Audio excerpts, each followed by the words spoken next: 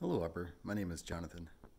This year, my wife Kelly and I have been following a reading plan that gets us through the whole Bible in a year, which, as an aside, I totally recommend. If you Google for the Blue Letter Bible chronological reading plan, you'll find it pretty easily. Anyhow, right before the pandemic, we were reading through Joshua, and I read that verse, and it's probably one of the only verses that you have ever heard quoted from Joshua because Joshua is actually an extremely bloody book of the Bible. It's in Joshua chapter 1, verse 9. God gives his famous command to Joshua, and he says, Be strong and courageous. And the thing about being courageous is that it kind of implies that you're afraid. It doesn't really take a lot of courage to find something that you don't find scary. For example, our oldest daughter Beatrice is not very afraid of heights. She loves to read books on our roof. If I'm working in the yard, uh, she'll come outside and she'll say, like, "Hey, Dad, can I read on the roof?" And I think it's partly because she really enjoys the thrill of having her own little special place. And she also really enjoys watching the reactions of people who see her on the roof.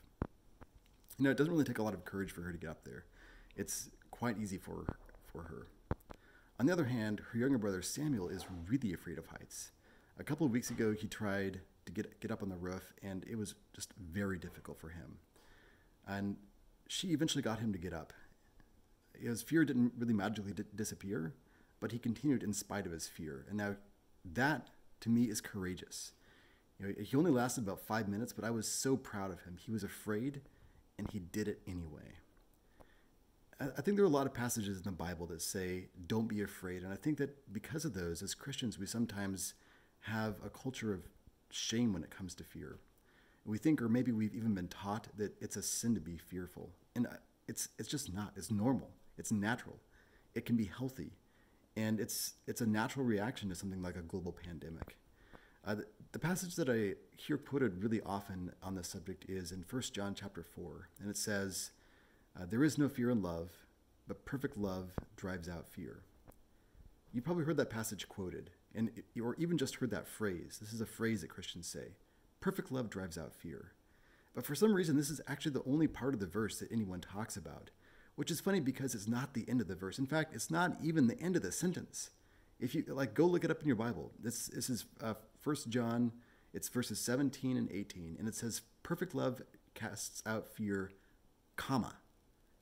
It's funny, like we, we quote it, we, we leave out the rest of the rest of the verse. I want to I want to read the whole section for you. This is just two verses. This is First John, chapter four, verses 17 and 18. Here's what it says. It says, "By this love perfected with us." So that we may have confidence for the day of judgment. Because as he is, so also are we in this world. There is no fear in love, but perfect love casts out fear. For fear has to do with punishment, and whoever fears has not been perfected in love. So if you take this out of context, it sounds like you might have a problem if you're afraid. Like you might have a problem because you don't have enough love. But this passage is not talking about walking through life without fear. It's not talking about never being afraid of anything. This passage specifically is talking about fear of punishment. It's talking about how we don't have to be afraid of God because of what Jesus did for us.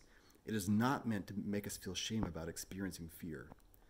In fact, if you think about it, like pretty much all the times where God tells people not to be afraid in the Old Testament, you see the angel of the Lord pop up and he says, Don't be afraid, don't be afraid. And what uh, is always implied on the end of that is, Don't be afraid of me.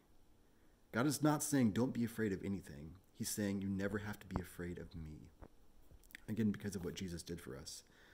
I, I guess where I'm going with this is that it's it's natural to be afraid. It's natural to be anxious. It's natural to feel unsettled. These times are scary, and, and no one knows the future. And the point is not to have no fear. The point is not to let our fear master us. And that is courage. Courage is pressing forward, even when we are having those strong feelings of fear, like my son Sam trying to get up on the roof. You know, it is courageous to go to the grocery store to get food for your family when you know that there is a deadly virus circling around. It is courageous to give and to share what you have when you don't even know if you're going to have a job tomorrow. It is courageous not to choose to feed or dwell on your fear and to silence the news and to make quarantine memories with your loved ones instead.